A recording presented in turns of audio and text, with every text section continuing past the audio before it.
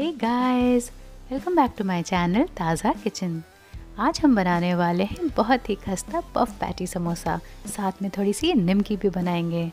Guys इस recipe को बनाना बहुत ही आसान है, बहुत ही खस्ते समोसे बन के तैयार होते हैं। तो चलिए बिना देर किए हुए इसकी रेसिपी हम शुरू करते हैं।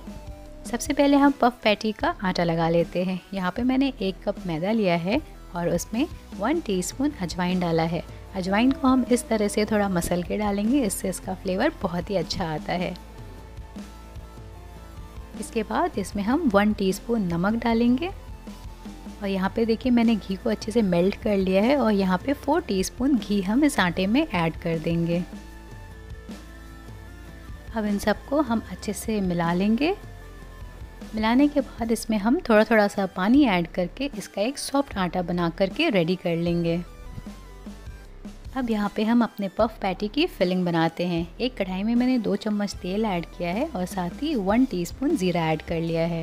उसके बाद यहाँ पे मैंने वन टेबलस्पून जिंजर गार्लिक का पेस्ट ऐड किया है और इसको हम तब तक भूनेंगे जब तक कि अदरक लहसुन का कच्चापन ना निकल जाए। उसके बाद इसमें वन फोर टी हल्दी पाउडर डालेंगे one fourth red chilli powder डालेंगे और इसको भी एक बार फिर अच्छे से हम मिक्स कर लेंगे। अब इसके बाद मैंने यहाँ पे तीन से चार आलू को उबाल के अच्छे से मैश कर लिया था और उसके बाद इसको हम इस मिक्सचर में ऐड कर देंगे। ध्यान रहे, आप यहाँ पे ठंडे आलू को यूज़ करें, गर्म आलू इसमें बिल्कुल भी ना डालें। उसके बाद इसमें यहाँ पे फिर हम हाफ़ टी स्पून नमक ऐड कर देंगे और साथ ही वन फोर टी स्पून गर्म मसाला और वन फोर टी स्पून अमचूर पाउडर और एक बार फिर इन सबको हम अच्छे से मिक्स कर लेंगे। मिक्स करने के बाद यहाँ पे मैंने वन फोर्थ कप बॉयल्ड मटर भी इसमें ऐड किया है और साथ ही थोड़े से धनिया पत्ता भी। इससे बहुत ही अच्छा फ्लेवर आता है इसका। अब इन सबको हम अच्छे से मिक्स कर लेंगे और ये देखिए हमारा मिक्सर बन के रेडी हो गया है। अब इसके बाद हम यहाँ पे ऐसे खाने वाली चम्मच से तीन चम्मच कॉर्नफ्लोर ऐड करेंगे एक बाउल में। और साथ ही सेम स्पून के मेज़रमेंट से छः से सात चम्मच मेल्टेड घी ऐड करेंगे मतलब पिघली हुई घी।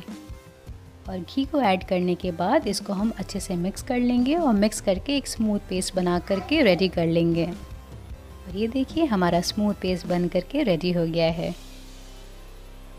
अब इसके बाद हम एक क्लीन स्लैब पे थोड़ा सा आटा डस्ट कर लेंगे और हमने जो डो तैयार किया था, एक बार फिर उसको अच्छे से गूँथ लेंगे और इस तरीके से रोल करेंगे। रोल करने के बाद इसको हम सिक्स इक्वल पीसेस में कट कर लेंगे। अब इसके बाद इसमें से हम एक लोई लेंगे और उसको ऐसे रोटी की तरह बेल लेंगे। यहाँ पे हमें एकदम पतली रोटी ही बनानी है, इसकी मोटा ये बिल्कुल भी ना रहे। अब इसी तरीके से हमने अपने सारे रोटियों को बेल लिया है। अब फिर हम एक रोटी को लेंगे और उसके ऊपर जो कॉर्नफ्लोर और घी का मिक्सचर तैयार किया था, हम उसको इवनली ऐसे स्प्रेड कर देंगे। और इसको बहुत अच्छे से लगाना है, बिल्कुल भी कहीं पे जगह छूटनी नहीं चाहिए। और फिर हम दूसरी लेयर लेकर के इसके ऊपर ऐसे रख देंगे। और उसके ऊपर भी कॉर्नफ्लोर और घी का मिक्सचर ऐसे लगा देंगे।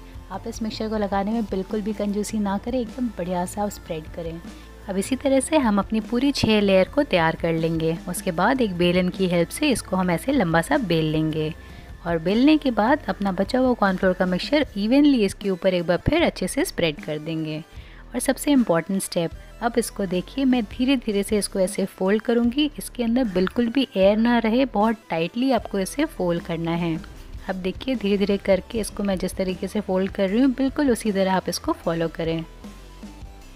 अब इसको पूरा ऐसा फोल्ड करने के बाद इस तरह से आप गोल गोल घुमाएँ, ताकि इसके अंदर की सारी एयर बबल्स निकल जाएँ। और उसके बाद, अब यहाँ पे देखिए, मैंने अपने हाफ़ उंगली के साइज़ का इसका कट दिया है। बस इसी साइज़ को लेकर के आपको इसे इक्वल पार्ट्स में डिवाइड कर लेना है। आप देख सकते हैं कितनी परफेक्ट लेयरिंग आई है इसकी।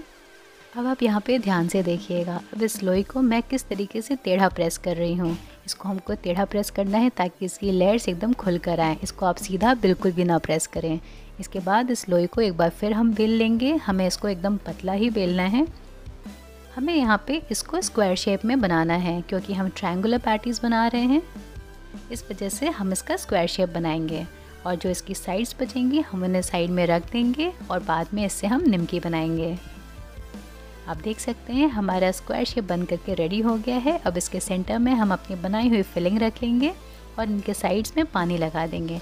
पानी लगाने के बाद इसको हम ऐसे ऊपर से कवर कर लेंगे और इनके साइड्स को अच्छे से प्रेस करेंगे। ये बहुत इंपॉर्टेंट स्टेप है गाइस आप इसको अच्छे से इसके साइड्स को प्रेस करें, दबा के रखें ताकि ये फ्राई होते वक्त बिल्कुल भी ना खुलें। अब ये देखिए, हमारी पफ पैटी फ्राई होने के लिए बिल्कुल रेडी है। इसी तरह से हम अपने सारे पैटीज़ को रेडी कर लेंगे। अब यहाँ पे मैंने कढ़ाई में तेल गरम कर लिया है और अपने पफ पैटी समोसे को एकदम लो फ्लेम पे हम तलेंगे। आप यहाँ पे लो फ्लेम ही रखें, तब आप देख सकेंगे इसकी कितनी बढ़िया सी लेयर्स खुल कर आएँगी। आप देख सकते हैं दोनों तरफ़ फ्राई होने के बाद कितनी बढ़िया पफ पैटी बन के रेडी हो गई है। अब यहाँ पे हमारे जो साइड्स बचे थे, उनको भी हम लो फ्लेम पे ऐसे तल लेंगे। आप देख सकते हैं जैसे ही मैं इनको कढ़ाई में डाल रही हूँ, ये अपने आप फूल के कितने बढ़िया से होते चले जा रहे हैं। इनको भी हम लो फ्लेम पर ही तलेंगे। और ये देखिए, तलने के बाद कितनी खस्ता सी निमकी बन करके बिल्कुल रेडी हो चुकी। आप इन पफ पैटी और निमकी को एयर फ्रायर में भी बना सकते हैं। बहुत ही खस्ता क्रंची से निमकी बन के तैयार हैं हमारे। अब यहाँ पे हमारे जो पफ पैटी समोसे थे, इनका भी टेक्सचर आप अंदर से देखिएगा, कितनी बढ़िया खूबसूरत सी लेयरिंग आई है। आप इसको धनिया पत्ता की चटनी के साथ या फिर टोमेटो केचप के साथ इंजॉय कर सकते हैं। गाइस ये रेसिपी आपको कैसी लगी ज़रूर बताइएगा।